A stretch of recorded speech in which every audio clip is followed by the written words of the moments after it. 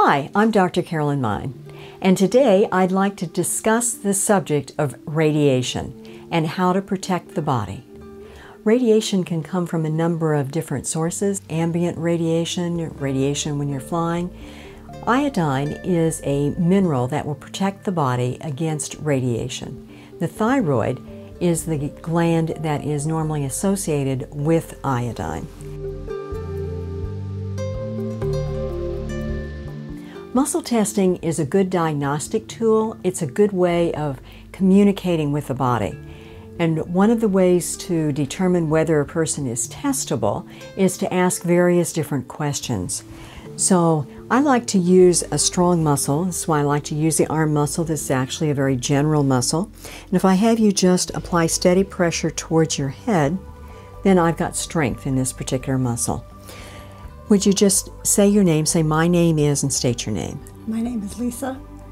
And when I test this muscle, this muscle is strong. Say, my name is Jane. My name is Jane. Hold this arm real tight, and you notice that there's a weakness.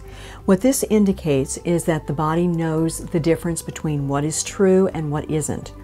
We can also use this way of communicating with the body because this way we can determine what's true for the body that's not necessarily what a person is consciously aware of. Muscle testing is a good way of demonstrating the effect of different products on the body. If we take a strong muscle, we're getting strength, and I'm checking a point which is the alarm point for the thyroid where we're getting a weakness. The thyroid is one of the first glands that's affected by radiation. I'd like to introduce a product into the body's energy field, which is Sealogica.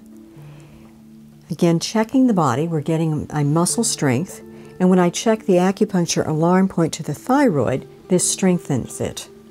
It also has a general effect on strengthening the body in general. This product is Sealogica. It contains seven sea vegetables.